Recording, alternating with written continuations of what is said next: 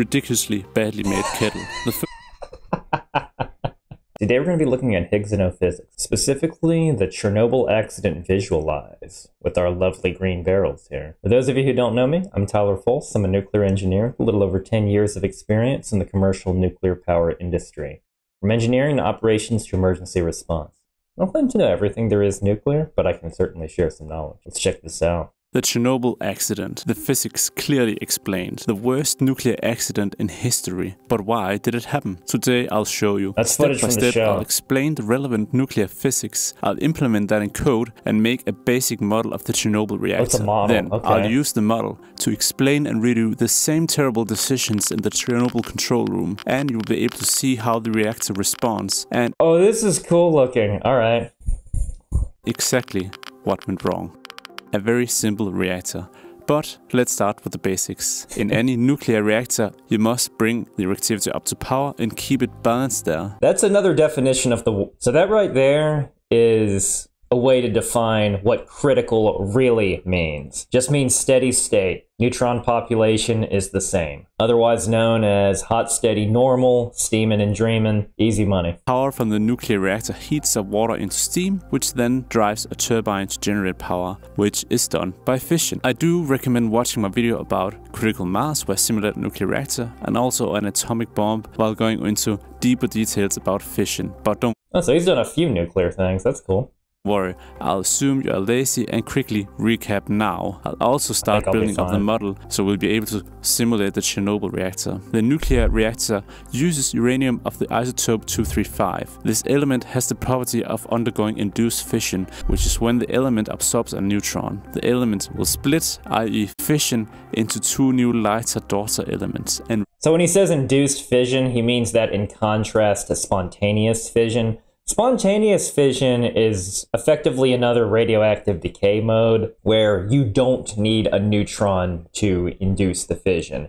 It's just an unstable isotope that sloughs off another nuclei that's something bigger than an alpha particle. And it generally occurs for super heavy elements. But it is actually possible in uranium 238. But to give a sense of scale, uranium 238 undergoes alpha decay, a helium nucleus, on the order of billions of years. The half life is 5 billion years for uranium 238. The half life for spontaneous fission for uranium 238 is on the order of 10 to the 16th power years. So you don't see that very often. release three new neutrons. Now, these daughter elements are not important for the bigger picture, so not to confuse ourselves visually in the model, instead of showing two daughter elements, I'll simply just show whether the element is uranium-235 or not. Blue for uranium Unless it's something like xenon, but I'm sure he'll get to that later, where xenon gets in the way of causing more uranium 235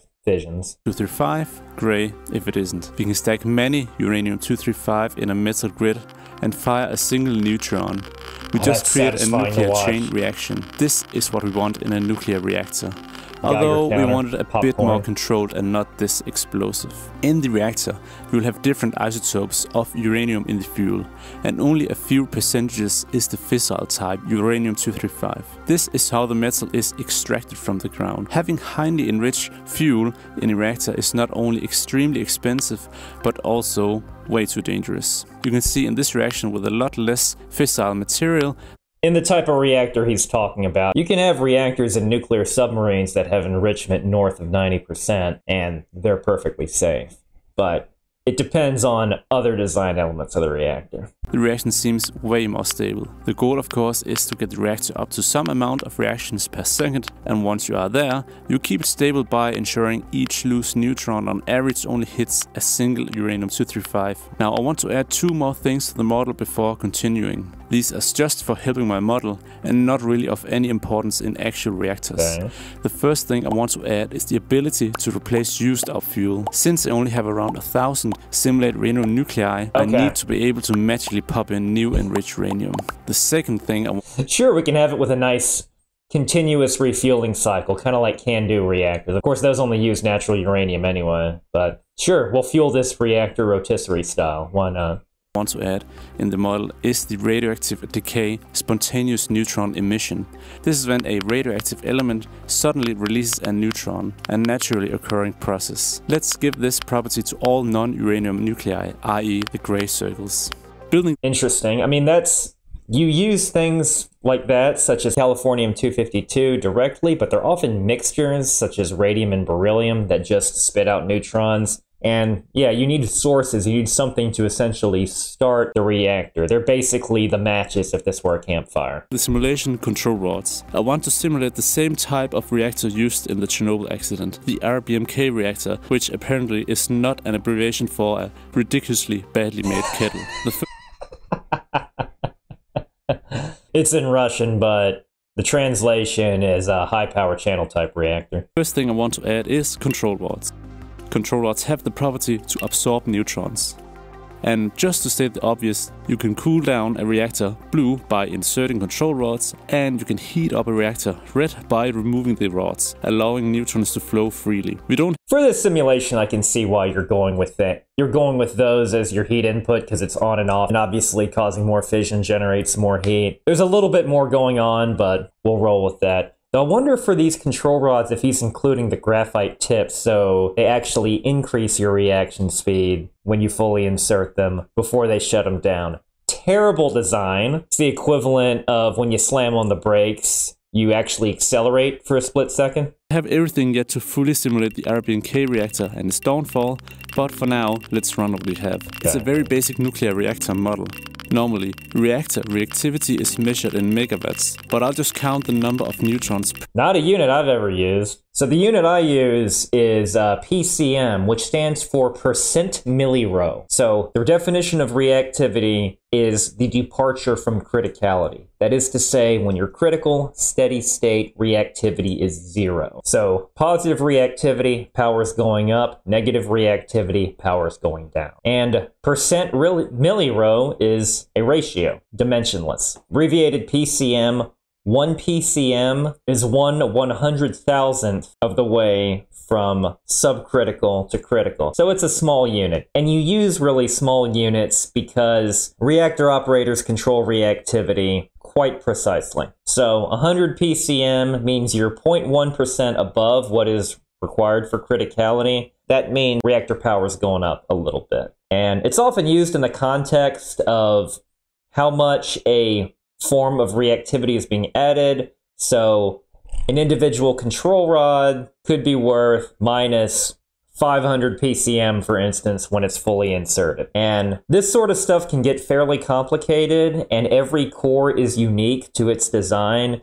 So there's a nuclear design report that comes out after each reactor is refueled that tells you how much each control rod is worth. And it's a team effort between both the reactor operators and the reactor engineers essentially when you're changing power level to go over how much each control rod is worth. Now, control rods aren't the only thing that affect reactivity. But the point is, it essentially measures how fast the reactor is, is accelerating or decelerating. But I'll just count the number of neutrons present in the reactor. You can see that number on top here. Okay. I've coded some very basic automatic control of the control rods. Every second rod will go up if there is under 40 neutrons inside the reactor. If there is above 40, the control rods will be inserted instead. But as you can see, by slowly pulling out control rods, I'm able to increase reactivity safely, whereas reinserting the control rods decrease the reactivity. Building this is not a bad way to explain it. I mean, this would be useful in a lot of initial reactor operations classes that are training reactor operators. Because interestingly enough, you don't have to be a nuclear engineer to be a reactor operator or vice versa.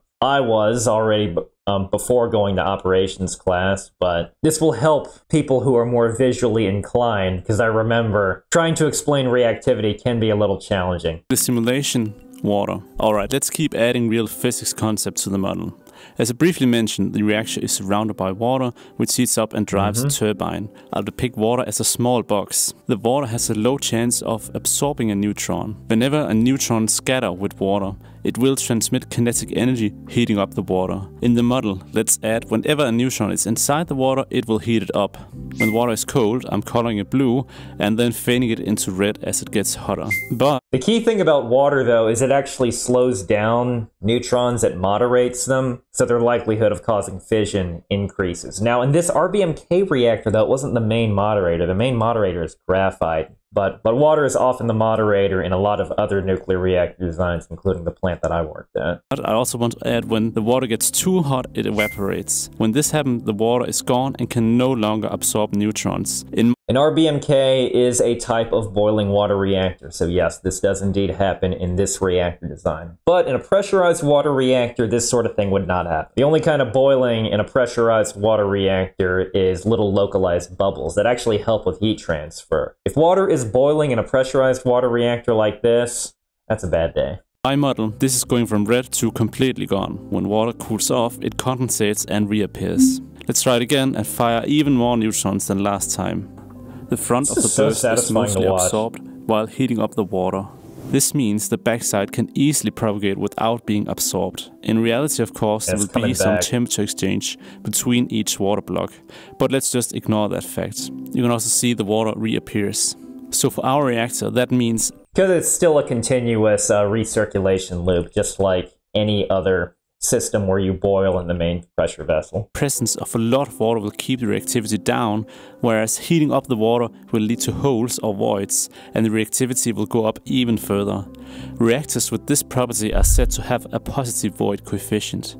Let's see that in action from the positive void coefficient. Not completely unique to RBMKs. There's a few other designs out there, but you don't really see that much anymore in what's currently being operated. So this is a type of reactivity coefficient. And a coefficient is just a property that affects how much the reactor's power level changes. So reactivity coefficient is just a property that affects how fast the reactor accelerates or decelerates. One example is temperature of the fuel, and that's always a negative coefficient. That is to say, the uranium fuel pellets heat up. The more it heats up, the more the reaction wants to to shut itself down. And that's due to the Doppler effect. The very same effect when you hear an ambulance drive past you, that change in pitch. Basically, what happens is the uranium 238, we're still mostly 238 at this point because enrichment is on the order of 3 to 5% for most reactors, even lower for an RBMK. And uranium 238, the probability of it absorbing a neutron goes up, so you have less neutrons available for fission, which is a nice feature because as the reactor heats up, it wants to shut itself down. So it's a natural feedback mechanism for you, which actually makes reactors easier to control. Now this positive void coefficient, on the other hand, that's what you don't want because that means as the amount of voids increase, the reactor's power level goes up. Especially dangerous because Excess steam is produced in the event of an accident. You often get excess steam in the event of an accident, so that make that's going to that's going to make the reactor's power go up in the event of an accident, which is the opposite of what you want. You want to emergency shut down the reactor. Same before with the control rods. Notice that we now have to lift the control rods even up further because the water is helping to absorb the neutrons. But because the control rods keep the reactivity down to 40 neutrons inside, you won't see enough neutrons to evaporate the water for now. You'll have to wait a bit to see the positive void coefficient in action. Yes.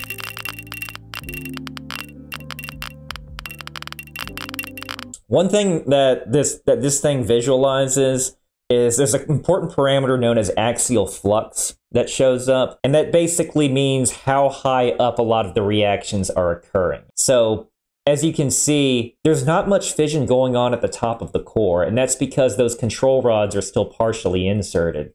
So it's going to basically prevent any fission from happening up there, which is one of the reasons why you don't just use control rods by itself, because ideally you want a nice uniform power distribution. There's other ways to do that, such as varying your enrichment, varying how much uranium-235 you put in each location because ideally you want a fairly optimized distribution. And really what it comes down to is reactor engineers want to design a Scrabble board with the optimal positioning of your double word and triple word scores.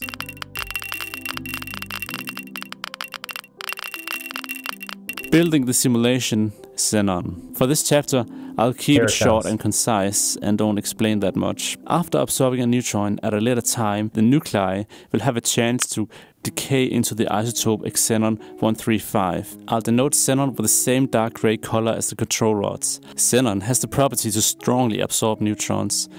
It's actually even stronger than control rods, but it's isolated rather than a control rod being a long rod that goes as much of the length of the core. Once it's a xenon element, the only way to undo that is for the element to absorb a neutron. This is what is referred to as burning away xenon. Now let's run the model again with the xenon property. You'll see once again it's now hard for the reactor and we must raise the control rods even further to get the same reactivity level, around 40 neutrons. This comes up whenever you're changing the reactor's power level. You have xenon peaks, where xenon slows down your reaction, and xenon valleys, when you do a down power and a raise power. And there's a couple of metrics. One is it can absorb a neutron, but the other thing is it can decay away. It has a half life of about nine hours. So its radioactive decay is enough that if you were to operate this thing on a load follow basis, you're going to notice this in between shifts, and it's important to include this in your reactivity briefing between when the next crew comes in. There's another reactor poison. Yeah, yes, reactor operators call this poison. That shows up. It's called samarium, but its half life is on the order of days, and its tendency to absorb neutrons and stops fissions is much less. So it doesn't really come up as often. So it doesn't really affect reactivity control as much, but it does come up from time to time.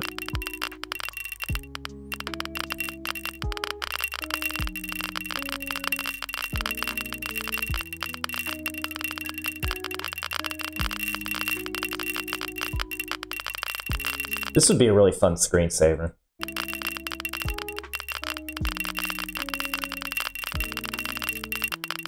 You can see how it's affecting it more. Building the simulation, moderation. Last thing to add. When Graphite. neutrons are released from the nuclei, they fly out with around 5% the speed of light. Let's add the property to the model. Now neutrons sent out from nuclei are fast. I will denote that with a white dot in the neutron. This speed is way too fast for fission absorption. It turns out the chance of interaction is incredibly low then. This is called the nuclear cross-section. It can be thought of as the probability of a reaction. When they are going fast, I'll set the interaction chance to 0%. For fission, you must first use the so-called moderator. Something for the Interesting is at fast speed, it actually has a greater chance of it fissioning uranium 238. Still pretty low. And there are certain fuel types that designed to operate mostly in a fast neutron spectrum. RBMK is not one of them. Neutrons to scatter on and absorb some kinetic energy. In the RBMK reactor, all fuel rods were surrounded by graphite for moderation. In the model, I'll depict a moderator as a white rod with a gray border. After collision with the moderator, the neutrons are no longer too fast and So he's actually shown a couple of different concepts here, both moderation and reflection. Reflection is exactly what it sounds like. You want to keep the neutrons inside the reactor to avoid it escaping. Water has both of those properties as well. But for an RBMK reactor, the majority of this phenomenon is going to be caused by the graphite. Are instead called thermal neutrons, which basically just means slow neutrons. Let's have these thermal neutrons behave just as before with an One other way of visualizing this, difference between fast and thermal, is fast are on the order of millions of electron volts, and thermal is less than one electron volt. So they're just way less energetic, the thermal neutrons. But they're at a magic speed that has them cause thermal fissions in something like uranium 235. the action chance of 100% when the neutrons and nuclei touch. When thermal neutrons collide with the moderator, we will just set them to fly right through.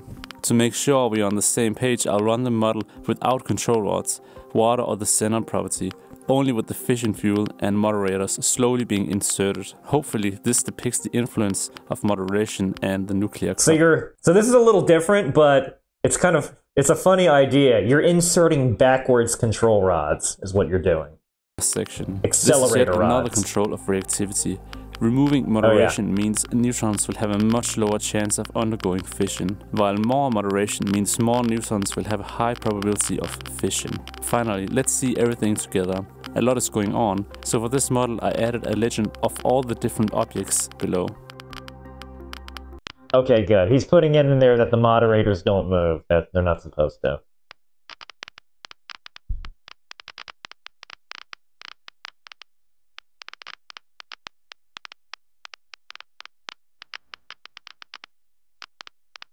Now we have everything we need to recreate the Chernobyl accident. I'll recreate the same events Under control. Now let's break it. I love it. It's in the control room. Here's the first event. Day of the accident, event 1, reactor normal. The simulation I'm showing right now is showing how the reactor was running stable just before the accident. It was running at around 50% power to meet power demands for the grid line.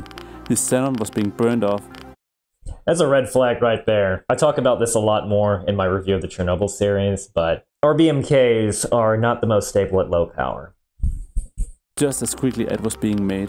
Reactor is stable. We can pretend the 50% power could It is stable. Let me rephrase that. When you're at low power, a small reactivity change causes a larger effect. That's what I mean about it being more challenging to maintain stability. responds to 40 active neutrons, which is what the controllers here are trying to stay stable at.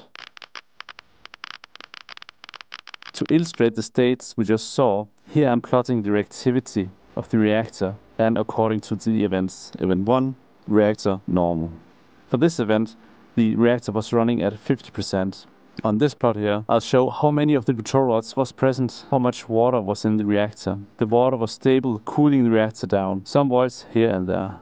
I'll also plot how much xenon was present, not much. Day of the accident, event 2, power reduction. Let's continue the simulation from where we stopped last time. We'll do that from now on. Well, what happened then? A safety test was scheduled later this night. This test required the power to be reduced to around 30% power. Mm-hmm. We can pretend 30% power corresponds to 20 active neutrons and set the automatic controller to try and hit this number. What we can That technically is, for a simplistic sim- simulation like this, that is a way of measuring power, because you can measure power in terms of how many neutron counts. When you're at extremely low power, that's actually how you do it.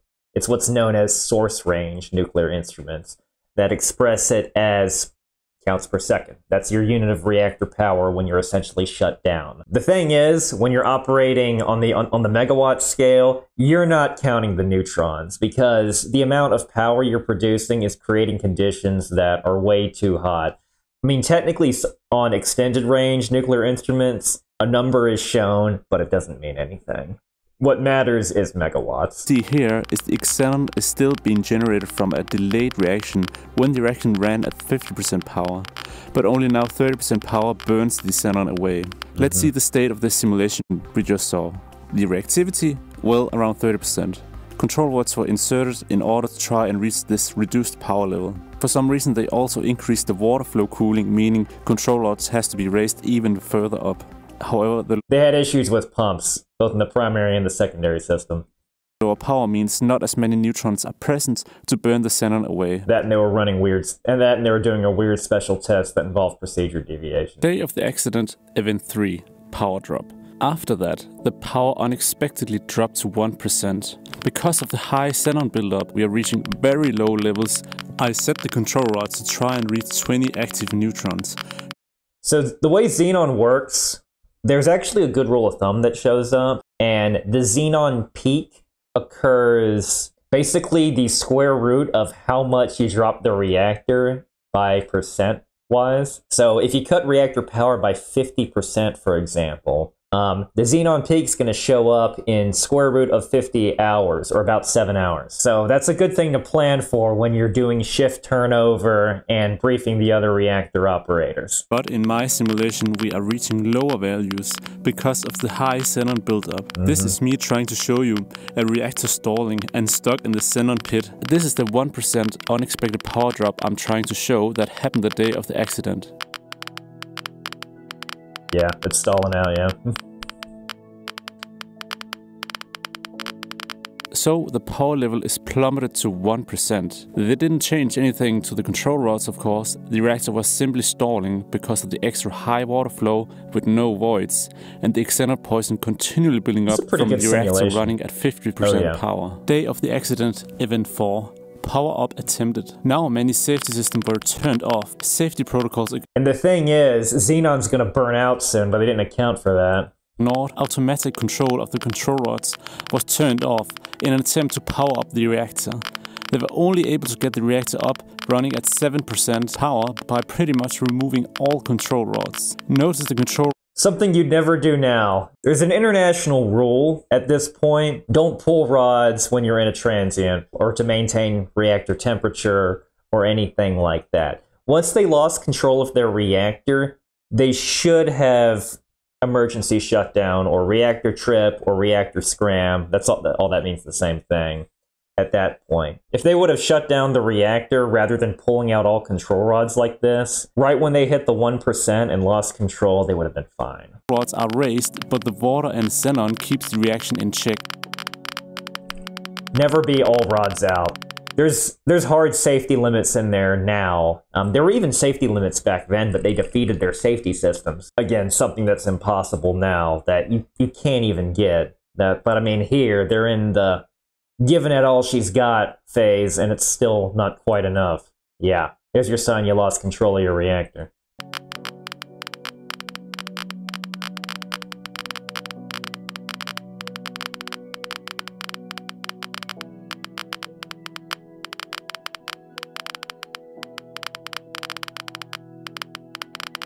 Yeah, just to try to maintain so, the that. state is 7% power, all control rods raised, water level is still cooling the core, and xenon keeps building up from the delayed reaction. Day of the accident, event 5. Test starts. The reactor was still stuck at 7% power. The computer wants them to shut down immediately, so they turn off the computer instead. They could not get and keep in mind, the computer back then lagged. So they're, they're ahead of what the computer thinks the reactor parameters are at.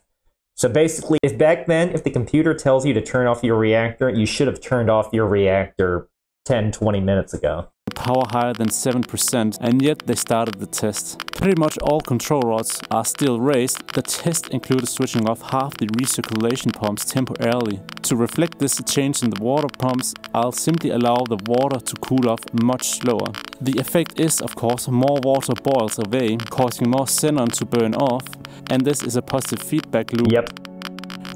Positive feedback loop is scary words to hear in the world of nuclear reactor operation you don't want positive feedback. Maybe that's why people hardly ever give you a compliment there. Causing ever more water to evaporate, causing ever more xenon to burn away. Right, so the reactor is stuck in 7% power. Pretty much all control rods are still raised, water is boiling away, quickly forming voids, causing more xenon to burn. So right now, according to just this model, he's showing three different ways of adding positive reactivity. There's actually a bit more stuff going on for because for instance, water water boiling away is actually going to lower temperature of your cool is going to lower temperature of the liquid portion of your coolant, which is further going to add increases in reactivity. And these are not small increases in reactivity. These are, well, you're going to see. The day of the accident, event 6, Scram. Now here's something I hadn't added to the simulation. The control rods actually had graphite displacers hanging below, looking something like this. Commonly said, graphite tips. So actually, this whole time, the scenario should have looked like this instead. Now I'll add that to the simulation. Let's continue. Those are some big tips, but I can understand for the purpose of this simulation. Continue the simulation with these added changes. Let's pause the simulation. Suddenly, with the water and the xenon disappearing, the reactor increases unexpectedly fast in the reactor and the operators you're adding four different methods of reactivity all at once, and, and then you're gonna hit the brakes, which temporarily hits the accelerator. Notice this and presses the scram button, aka AZ5, a safety switch. Scram button's job is to put in all of the control rods as absolutely fast as possible. It was a which for Chernobyl sucked because it was on the order of a minute when now it's a couple of seconds in current reactor designs. Lifeline the operators always thought they had in case something went wrong in the test. Anyway, pressing this scram button, it will take some time to deploy the control rods. They are slow. The operator didn't know what they just had done. Another terrible design of the Chernobyl reactor. They're not supposed to move slow. Now they fall in as fast as gravity will take them. Because normally the top had a lot more stopping power than the accelerating bottom graphite, but the reactor was in such an unstable state that the bottom had much much stronger accelerating power than the top had a stopping power. One other thing that's not shown in the simulation is there was damage that already occurred to the reactor. So there were there were moments when this happened that essentially just the tip went in because the rest of the control rod couldn't fit because the geometry of the core was so deformed because of what they did to their reactor. As a result, the scram actually increased the reaction rate after a little the control rods and graphite displacers were stuck. Control rods didn't get far enough in the reactor to do any difference. Let's just quickly see the states here in the pause of the simulation. The power had unexpectedly rised a lot. Control rods were set in by the scram, but it was stuck and all of a sudden all the water flash boils away and all of the free neutrons burn away all of the xenon. Now there's nothing to stop the reactor. The reactor yeah. is just set in such a crazy state. I actually like that the words for all the positive reactivity stacked on top of each other. So back to my brake analogy again. So the brake analogy is how this reactor design usually works when you, it hits the accelerator before the brake. This is showing that on a regular car, effectively, since you got so much wind up, the brake isn't hitting the accelerator. The brake is activating booster rockets to your car before it applies the brakes. It's just all gas and no brakes. Let's see that. Here you see the control rods with the graphite displacers got stuck.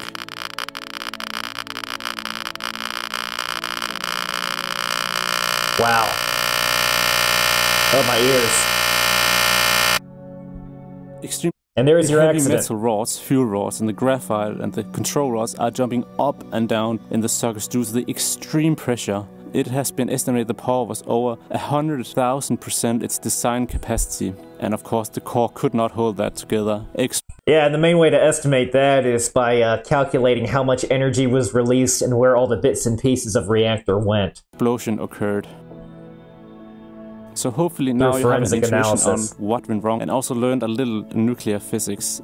I basically only cover the physics and the incredibly dangerous design of the RBMK reactor, but there are tons of other factors that also played a role which we didn't cover, okay. such as human errors and unexperienced team, the lack of any safety culture, the ability to turn off safety system, cheap reactors over safety, the Soviet Union and the corrupt system, and more. And if you want to hear more about that, please check out my reaction to the Chernobyl series. Now, I don't want you to walk away with the feeling that nuclear reactors are unsafe. This is just Thank one you. reactor design and many more I appreciate safe reactor that. design exists. For example, ones with the negative void coefficient. They are impossible to blow up. I could simulate that for you one day. And lastly, even including all of the death of this horrible accident, nuclear reactors are still much, much more safe Thank you for putting that. That's actually the same reference I often use when comparing nuclear power generation to other energy sources. That was a very satisfying to watch simulation, and he did a really, really good job. Thanks so much for the recommendation, and thanks so much for watching. I'll see you next time.